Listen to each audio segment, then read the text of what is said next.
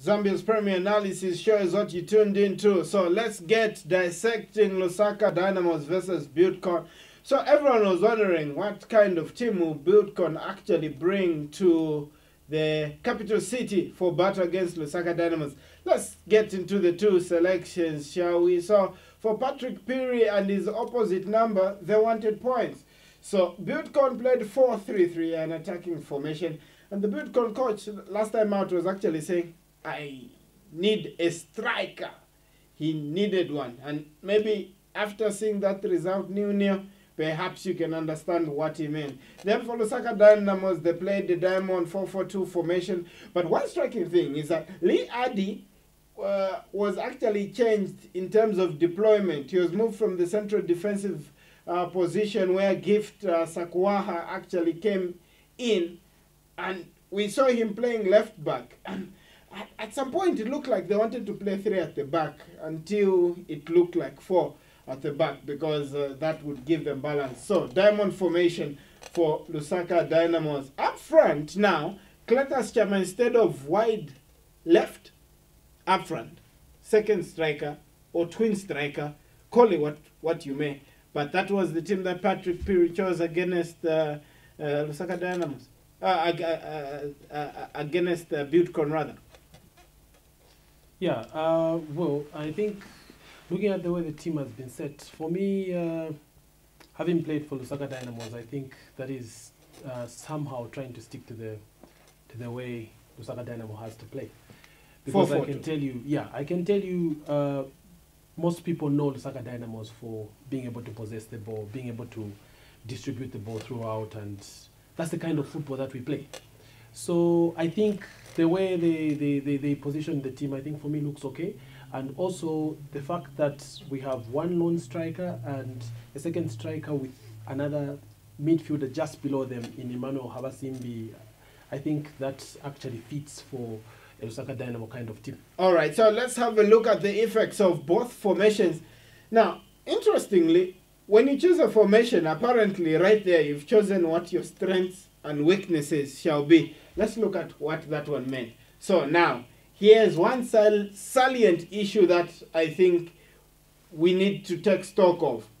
Godfrey Chibanga playing defensive midfield at the base of that diamond is up against Musa and Jean Fidel Bosanjo in those central areas. Now, if you're playing a team that plays 4 3 3, beware, don't be conned. They want to play in the middle. They will not put an extra attacking midfielder in the same line and not want to use it. And they used it. But look at the average position now. The team that play out from the back, they do not hoof the ball forward, they do not panic, they do not even make a 40 meter pass. Dennis, that's how complicated this team is. And Esuman, the captain there for Buildcon, wow, the calmness and composure of that team, it's, it's, it's out of this world.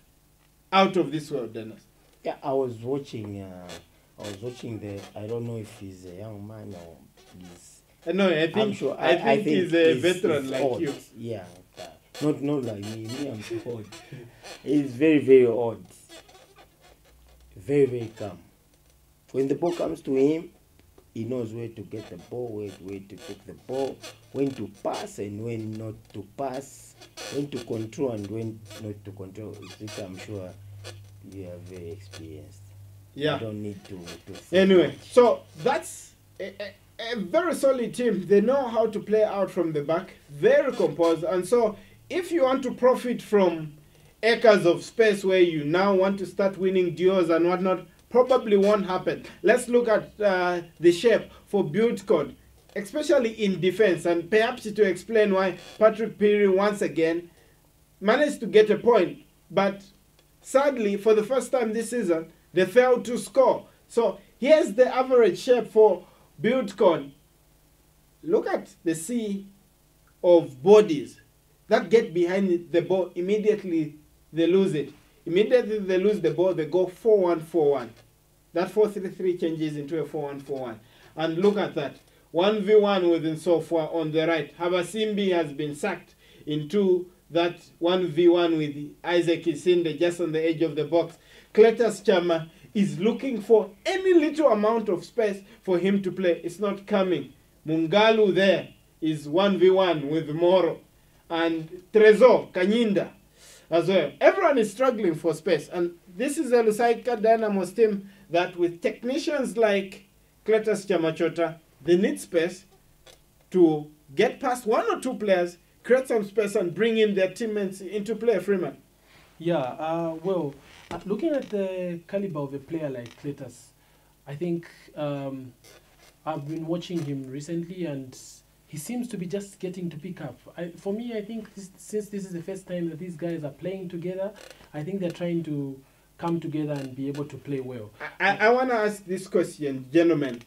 By the end of that match, Cletus Chamachota had played left wing, right wing, attacking midfielder, second striker, and even striker. All the attacking positions. But look at that defensive organization. They were not getting anything. You know, I think one of the things that matters the most, I think, for a system like that one is also the the top man. After watching uh, Mungalu actually the last three games, even the first game that he scored, for me uh, he hasn't been too impressive as a as a striker, because uh, a striker is supposed to be a bit more forceful than he is, and he likes going in the wing. If you look at his position, you find that he's usually found in the wing instead of being on the center there and trying to bulldoze there. He's not finding himself between the two defenders, and for me, that one is creating a weakness on his part. No, But but I me- mean, it's it's not coming. I mean, it's shut. There's no space to pass. And now, for change, Lusaka Dynamos ac- actually need to learn and say, okay, gift Sakwaha, pass the ball to Ngoe. Look for where Ochaya is. We need to go forward slowly because once we hoof the ball forward, one long punt, we've lost the ball and they are coming again. I don't know. Uh, for me, I wanted to to to to speak on uh, the uh, Cletus. I've watched Cletus for I don't know for how long. He, he was playing for Changa, power. Yeah, the time that he played for Changa, that boy was uh, small like this. The other time, I even I called him. I, I said, "Are you sure you want to play for Lusaka Dynamo?" He said, "Coach, what can I do? I want money." I said, "Are you sure?" Big man. I said, "Are you sure?" He said, "Yes, coach." So you still play for all I five don't know. positions. I don't know whether it's money or because that that boy is exceptional. You put him here, he will perform for you. You put him anywhere, he will play. Yeah, Okay. but on, on, on my part, really, um, I don't know if it's because the, my bias is on the striker, but for me, I think that is where the lacking is. No, but uh, again, this is your playmaker ends up playing all five attacking Exactly. positions. Do you know why the reason? What the reason is there? The reason is if you have very clever midfielders. Emmanuel Habasimbi is very clever. If you look at Cletus, he's very clever. You need a striker that knows to position himself. You can see how he's doing, uh, how he's playing there. The last few games, he has been looking like he's playing uh, a game where there are two, Remember, two remember, young man, the, the, that that the, the one I did. You played uh, which team? Forest. Of Pa, pa, course. pa, pa, you went there. of course, those are, those And are, the, things, the goal. those, are, those are the things that we are, Yeah, we are that's supposed what to be talking want. about. We need We want- a want someone okay, who- Due to popular demand, gentlemen, hold it. Let's talk about Kope Mungalu, shall we? Now, Mungalu's positioning and match play. Let's discuss this one. It looks like it's going to be a source of problem. Here's my assessment. Now, here's what Buildcon does, and I don't know if you're still going to blame him after this little account. So you two, you see the two central defenders. You see Esuman, the captain. He's in the middle of the pyramid, in transition, by the way. And then you've got Trezor there, who's in a 1v1 situation with the number two, or the jersey number 20, or the person playing right back for Buildcon there. Then look at where the war goes. Remember what we're saying that it was 2v1 in the central areas because Buildcon actually wanted to use that space in the central areas. So Habasimbi, the technician, has to go back and mark and help Godfrey Chibanga, or else you're going to concede goals. That explains his average position. They are chasing and vacating his attacking position. Cletus Chamachota, second striker, you're playing in the central area.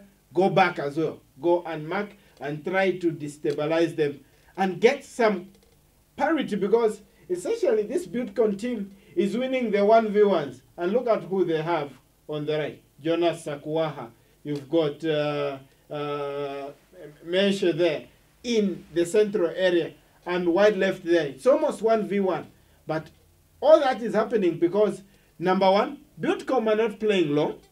So they're not giving you that luxury of walking back and hoping that you get the ball back in transition without you participating in winning the ball.